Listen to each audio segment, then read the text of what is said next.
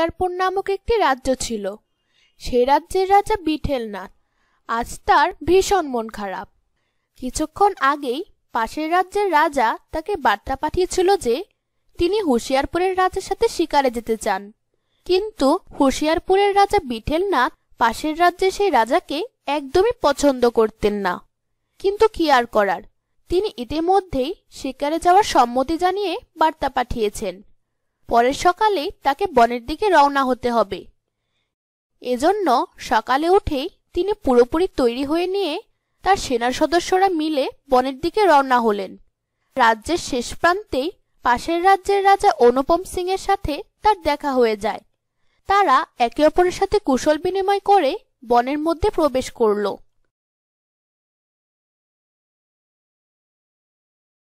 হুশিয়ারপুর রাজ্যের এই বনটি ভয়ঙ্কর প্রাণী, রাক্ষস, ভূতপ্রেত আর জাদুকরদের জন্য ছিল কুখ্যাত। মানুষ এখানে আসতে খুবই ভয় পেত। কিন্তু রাজা বিঠেলনাথ প্রতিবেশী রাজার ইচ্ছার মান রাখার জন্যই শিকারের জন্য এগিয়ে আসেন। তারা বনের মধ্য দিয়ে অভিযান শুরু করেন। কিছু দূর যাওয়ার পরই তারা একটি সোনার হরিণ দেখতে পেল। হরিণের শরীর আলোয় ঝকমক করছিল, আর সেই আলো বনের বেশ কিছু জায়গা জুড়ে ছড়িয়ে পড়েছিল। রাজা বিঠেলনাথ আর অনুপম সিং সিদ্ধান্ত নিলেন যে তারা এই হরিণটিকেই শিকার করবেন। তাই তারা দুজনেই তাদের ঘোড়ায় চেপে সশস্ত্র সৈন্যবাহিনীকে নিয়ে হরিণটিকে আক্রমণ করার জন্য পিছু নিলেন। কিন্তু কিছু দূর যাওয়ার পর হঠাৎই হরিণটি তাদের চোখের সামনে থেকে অদৃশ্য হয়ে যায়। আসলে হরিণটি একটি রাক্ষসে ছিল। সে এভাবে রূপ বদল করে রাজা আর শিকারীদের ফাঁদে ফেলে তাদেরকে বলিদান করত আর প্রসাদ হিসেবে তাদেরকে খেয়ে ফেলত। এদিকে দুই রাজাই হরিণটিকে খুঁজতে খুঁজতে অনেক অস্থির হয়ে পড়লেন। আর তারা মনে মনে প্রতিজ্ঞা করলেন যে, যতক্ষণ পর্যন্ত না তারা হরিণটিকে শিকার করতে পারবেন, ততক্ষণ পর্যন্ত তারা রাজ্যে ফিরে যাবেন না। এজন্য দুই রাজাই বনের মধ্যেই রাত কাটানোর সিদ্ধান্ত নিলেন। সময় কাটানোর জন্য দুই রাজাই একে অপরের সাথে গল্প করতে লাগল। সোনার এই হরিণটির চামড়াটা তো ভীষণ সুন্দর। আমি হরিণটির সেই চামড়া দিয়ে আমার জন্য কাপড় তৈরি করে নিব। না বন্ধু তুমি এরকম কিছু করতে পারবে না। কেননা আমি আগেই সিদ্ধান্ত নিয়েছি যে এই সোনার হরিণটির চামড়া দিয়ে আমি আমার রানীর জন্য সুন্দর একটি ব্যাগ তৈরি করব। একে অপরের কথা শুনে দুরাজাই মনে মনে খুবই রেগে গেল। দুপক্ষের সৈন্যরাই রাজাদের হাবভাব দেখে যুদ্ধের জন্য তাদের অস্ত্রগুলো নিয়ে প্রস্তুত হলো। কিন্তু বিঠেলনাথের মন্ত্রী হানি সিং দুপক্ষকেই থামিয়ে দিলেন। কিন্তু দুজন রাজাই মনে মনে সেই হরিণটির চামড়াটি নিতে চাচ্ছিল। রাক্ষসী আড়ালে দাঁড়িয়ে সবকিছু দেখছিল। আর তাদের এই লড়াই দেখে রাক্ষসী বুঝতে পারল যে এদেরকে ফাঁদে ফেলা এখন আরও সহজ হয়ে যাবে। বিঠেলনাথ ঘুমানোর পর অনুপম সিং ভাবল, তিনি চুপিসারে বনে গিয়ে সেই হরিণটিকে শিকার করে তার রাজ্যে ফিরে যাবেন।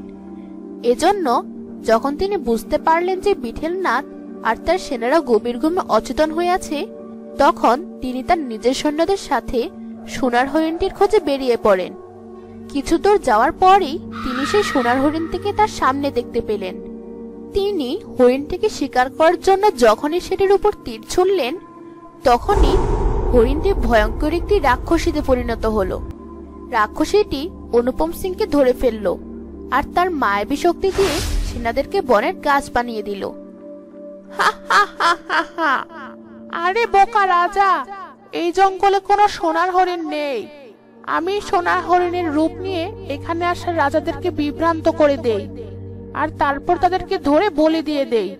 তারপর তাদের সুস্বাদু মাংসগুলো খুব মজা করে খেয়ে নেই। আমার নিজেকে অমর করার জন্য পাঁচজন রাজাকে বলি দিতে হবে। তুমি সেই পাঁচজনের একজন। এখন তুমি তৈরি হয়ে যাও। ঠিক আছে। এটাই যখন তোমার ইচ্ছা, তাহলে আমাকে তুমি নিয়ে চলো আর বলি দিয়ে দাও। কিন্তু আমাকে বলি দিয়ে তোমার কোনো লাভই হবে না। কেননা আমি অনেক অত্যাচারী এক রাজা। বলি শুধুমাত্র পবিত্র লোকদের দিয়েই করতে হয়। কিছু দূরেই অনেক প্রতাপশালী আর ন্যায়পরায়ণ এক রাজা বিশ্রাম করছে। তুমি যদি চাও, তাহলে তাকেই বলি দিয়ে তোমার পূজা সম্পন্ন করতে পারো। রাক্ষসী মনে মনে ভাবল, আসলেই তো কথা সত্য। তখন সে অনুপম সিংকে একটি ভয়ানক ভালুক বানিয়ে সেখানেই রেখে বিঠেল নাথের দিকে রওনা হলো। সেখানে পৌঁছে সে বিঠেল নাথ আর তার সেনাদেরকে গভীর ঘুম পাড়িয়ে দিল। সকালে বিঠেলনাথ যখন ঘুম থেকে উঠলেন, তিনি দেখলেন যে তিনি একটি মহলের মধ্যে শুয়ে আছেন। তিনি আরও দেখলেন যে তার পাশেই ভয়ানক একটি ভালুক তাকে জাগানোর জন্য চেষ্টা করছে। বিঠেলনাথ নিজেকে রক্ষা করার জন্য যখনই তার তলোয়ারটি হাতে নিলেন, তখনই ভালুকটি বলে উঠল, বন্ধু বিটেলনাথ আমাকে মেরো না। আমি তোমার বন্ধু অনুপম সিং। আমি তোমার উপর রেগে গিয়ে তোমাকে ফেলে রেখে নিজেই সেই সোনার হরিণটিকে শিকার করার জন্য বেরিয়ে পড়েছিলাম। কিন্তু পথিমধ্যে এক রাক্ষসী আমাকে ধরে ফেলেছিল। সে অনেক ভয়ঙ্কর আর শক্তিশালী। সে আমাকে ভালুক বানিয়ে দিয়েছে, আর আমার সেনাদেরকে বনের গাছ বানিয়ে দিয়েছে। আমি সেই রাক্ষসীকে তোমার সম্পর্কে বলেছিলাম, যেন তুমি এখানে এসে আমার উপকার করতে পারো। বন্ধু, আমার ভুলের শাস্তি আমি পেয়ে গেছি। এখন আমার ওপর কোনো রাগ করো না। আমাকে বাঁচাও, না হলে সেই রাক্ষসী আমাদের দুজনকে বলি দিয়ে অমর হয়ে যাবে। অনুপম সিং এর এই কথায় বিঠেলনাথ একটুও বিশ্বাস করলেন না। আর তাই তিনি তাকে মারার জন্য প্রস্তুত হয়ে গেলেন। হঠাৎই তিনি ভাবলেন যে একটি ভালুক তো এরকম ভাবে কথা বলতে পারে না। এই কথা ভেবে তিনি ভালুকটিকে মারার আগে তার প্রতিটি কথা বুঝতে চেষ্টা করলেন। আর সবকিছু বুঝতে পেরে অনুপম সিং এর উপর রাজা বিঠেলনাথ খুবই রেগে গেলেন। আর তিনি বললেন অনুপম সিং তুমি আমার সাথে যে ব্যবহার করেছ তা ক্ষমার যোগ্য না কিন্তু তারপরও আমি তোমার উপকার করব। কিছুক্ষণ পর বিঠেলনাথ দেখল সেই অসাধারণ সুন্দর সোনার হরিণটি তার পাশেই দাঁড়িয়ে আছে আর যখন রাজা বিঠেলনাথ সেটিকে মারার জন্য তার তলোয়ারটি হাতে নিলেন ঠিক তখনই সেটি একটি রাক্ষসীতে পরিণত হলো। বিঠেলনাথ আমি তোমার আর তোমার প্রতিবেশী রাজার পরীক্ষা নিচ্ছিলাম। সেই রাজাই সর্বশ্রেষ্ঠ, যারা একে অপরের সাথে শত্রুতা থাকলেও কারও কোনো ক্ষতি করে না, বরং নিজেরই চিন্তা পাল্টে নেয়। অনুপম সিং তোমাকে এত বিপদে ফেলার পরেও তুমি তার জীবন বাঁচানোর জন্য চেষ্টা করেছ। কিন্তু অনুপম সিং শুধু তার নিজের জীবন বাঁচানোর জন্যই তোমাকে বিপদে ফেলেছে। আমি তোমার উপর অনেক খুশি হয়েছি। আমি তোমার ব্যবহারে অনেক মুগ্ধ হয়েছি। আমি তোমাকে বিয়ে করতে চাই।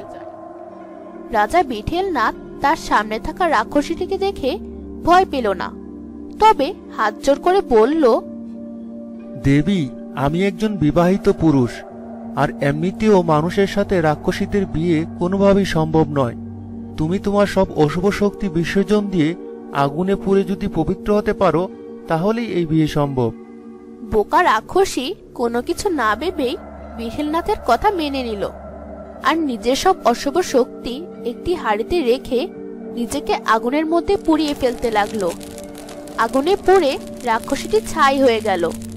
রাজা বিঠেলনাথ হাড়ির মধ্যে থাকা রাক্ষসীর সব শক্তি দিয়ে রাজা অনুপম সিংকে তার আগের রূপে ফিরিয়ে দিলেন। তারপর বনে গিয়ে তার সৈন্যদেরকেও গাছ থেকে পুনরায় মানুষের রূপে ফিরিয়ে আনলেন। এবং নিরাপদে সবাইকে নিয়ে রাজ্যে ফিরে আসলেন। অনুপম সিং তার এতদিনের খারাপ কাজের জন্য খুবই অনুতপ্ত হলেন। তাই তিনি বিঠেলনাথের কাছে ক্ষমা চাইলেন। তারা দুজনেই একে অপরের অনেক ভালো বন্ধু হয়ে গেল।